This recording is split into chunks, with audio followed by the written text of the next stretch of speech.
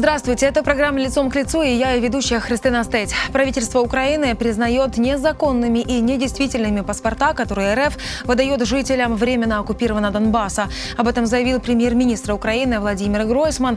Россия начала выдавать фейковые паспорта РФ для граждан Украины. Это абсолютно незаконно. Э, мы никогда не признаем никакого гражданства, которое выдает страна-агрессор, заявил премьер. Он уточнил, что эти псевдодокументы будут признаны незаконными при пересечении государственной границы, а также при использовании на территории Украины. Эту тему обсудим с моей гостью. Это кандидат юридических наук, исследовательница международно-правовых проблем гражданства Ольга Поединок. Ольга, здравствуйте. Здравствуйте. Спасибо, что вы пришли. Ну вот, собственно, по поводу заявления а, премьер-министра Украины. А, тут все ясно, очевидно. Похожая позиция, риторика у действующего президента и у новоизбранного э, тоже. Какова должна быть реакция Украины, если мы говорим о праве э, с юридической точки зрения, вот э, кроме пока что тех инициатив, которые есть?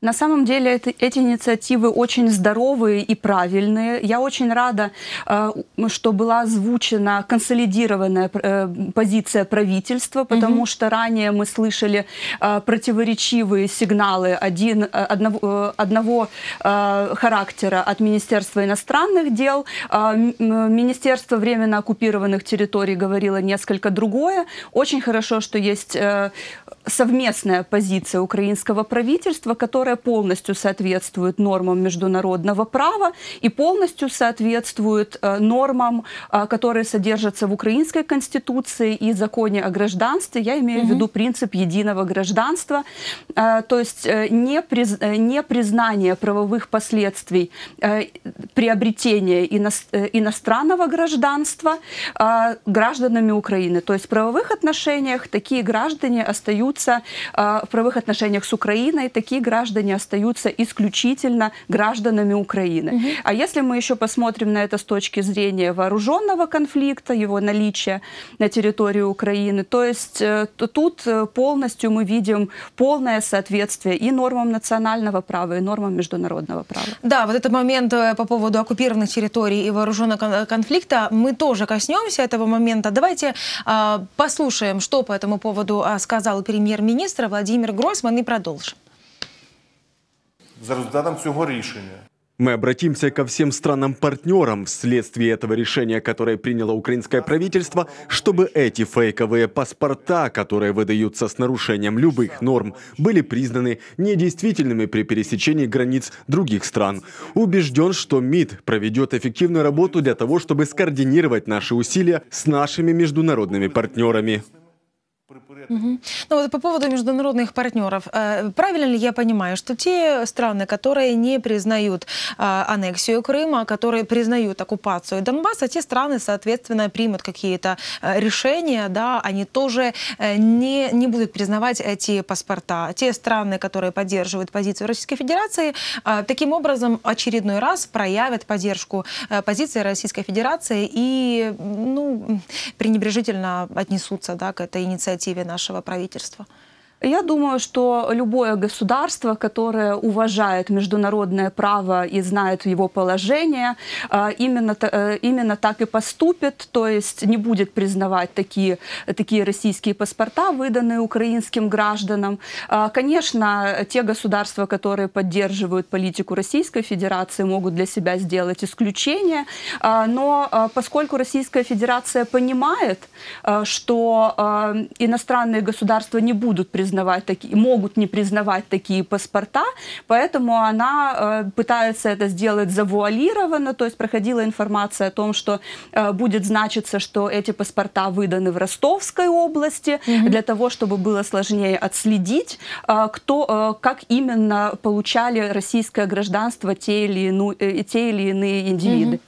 Ну вот э, с точки зрения э, ничтожности вот этого указа, да, э, по поводу Министерства иностранных дел, вы о нем уже вспомнили, там э, назвали этот указ э, президента РФ юридически ничтожным, а также э, заявили, что это решение имеет целью дестабилизацию внутренней политической ситуации в Украине после выборов. Э, ну, тут, конечно, тяжело не согласиться. По поводу юридической ничтожности. А, какое значение? Да? Это просто а, бумажка или на самом деле какое-то значение и все-таки имеет этот указ, учитывая, что принимается решение выдавать паспорта тем людям, которые живут на оккупированной территории. Да, международное сообщество в этом не сомневается, что территория оккупирована. И то, о чем вы говорили, на территории, где происходит вооруженный конфликт. Вот в этих условиях этот указ, насколько он юридически чем-то подкреплен, что ли? А, я бы рассматривала эту а, позицию, э, эту, э, этот вопрос э, в трех, в трех аспектах. То есть этот, этот указ может считаться порождающим какие-либо правовые последствия только с точки зрения Российской Федерации. То есть э, понятно, что в российской правовой системе этот указ вполне себе действителен. Он порождает определенные права и обязанности, которые будут связывать Российскую Федерацию и ее новых граждан. Угу. С точки зрения Украины, действительно, э, этот э, Украина не признает этот указ а, в связи с тем, что она имеет на это полное право. потому что если мы обратимся к тексту Европейской конвенции о гражданстве, которая является кодификацией обычных норм международного права, которые регулируют вопросы, вопросы гражданства, то там э, указано, что государства имеют право не признавать национальные акты других государств касательно mm-hmm. гражданства в случае, если эти акты нарушают существующее, действующее международное право. Угу. А в, действующем международном праве э, есть и э, запрет на применение силы и угрозы силой. В, между, в действующем международном праве э, есть э, принцип невмешательства во внутренние дела и так далее. И с точки зрения международного права этот указ также э, должен считаться ничтожным, поскольку он нарушает основные принципы международ... современного международного права, а также нормы международного гуманитарного права, которое применяется во время вооруженных конфликтов. Да, но здесь есть э, еще другая сторона медали, то, что Россия как страна-агрессор, наоборот, международное право считает ничтожным, да, но по сути это проявляется в действиях. Смотрите, какой момент. А, можно предположить, что какая-то часть, не знаю, насколько эта часть будет велика, людей, которые живут на оккупированной территории, они все-таки а, согласятся на а, взять это российское гражданство для того, чтобы более в какой-то безопасности себя, себя почувствовать, да, плюс социальные выплаты и так далее, и так далее.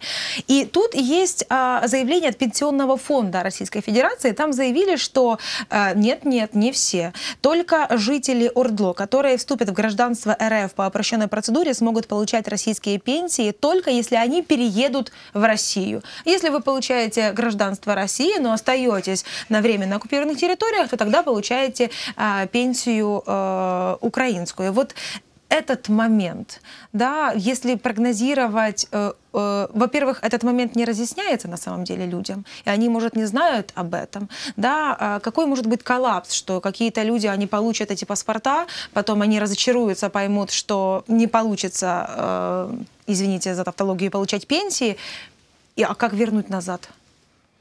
Э, очевидно, предусмотрена э, процедура выхода из российского гражданства, но э, в случае, если они разочаруются, да, но уже свою, свою роль в плане Путина они сыграют к сожалению. То есть таким образом Российская Федерация хочет их использовать. А, и действительно, я тоже читала эту информацию о пенсионном фонде. Дело в том, что в Российской Федерации доступ а, к большому количеству благ а, связан с регистрацией места жительства, с пропиской. Вот. А, и, соответственно, если ты а, живешь за пределами Российской Федерации и ты не имеешь а, в границах Российской Федерации прописки, ты многими правами своими воспользоваться не сможешь. Но я думаю, что Российская Федерация найдет способ заставить новых граждан исполнять обязанности, потому что мы понимаем, угу. что э, гражданство это не только доступ к правам, это также еще и обязанность. Хорошо, а как быть с точки зрения права, да, а, если мы говорим о инициативах, которые сейчас обсуждаются, о том, что а, Украина, в свою очередь, будет лишать пенсий и социальных выплат тех людей, а, которые будут получать российское гражданство. Это раз, а кое-кто предлагает и лишать тех людей и украинского гражданства, да, в ответ на такие действия. Здесь о чем мы говорим, да, вот по сути права тех людей, которые там, они уже нарушены, они уже живут под под прессом на оккупированной территории. Кто-то сможет, захочет, может получить этот паспорт для того, чтобы просто, не знаю, себя защитить. А здесь вот такая еще реакция. Ну, как быть?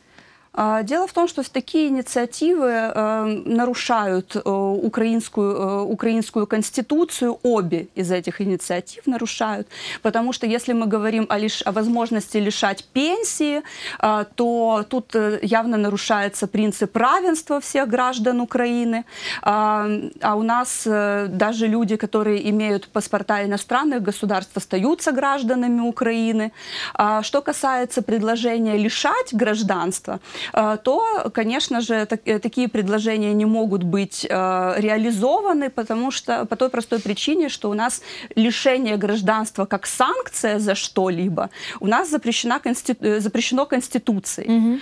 Если мы говорим о процедуре утраты, то есть, которая у нас существует в законе Украины о гражданстве, угу. то, на мой взгляд, она не может быть применена, потому что она, э, ее можно использовать в случае, если имело место добровольное приобретение а, Э, гражданства иностранного государства. В контексте вооруженного конфликта, на мой взгляд, никакого, никакой добровольности речи идти не может. Mm-hmm. А, кроме того, в международном праве действует принцип а, ex injuria jus non oritur, то есть нарушение права не должно порождать каких-либо правовых последствий. И об этом заявил украинский МИД. То есть у нас есть позиция, что мы не признаем Э, эти приобретения российского гражданства, поэтому mm-hmm. никаких правовых последствий для украинского гражданства а, они э, не должны иметь. А, потом, э, соответствующая норма есть в украинском законодательстве касательно Крыма. То есть автоматическое принудительное приобретение российского гражданства а, не признается Украиной и не является основанием для утраты украинского гражданства.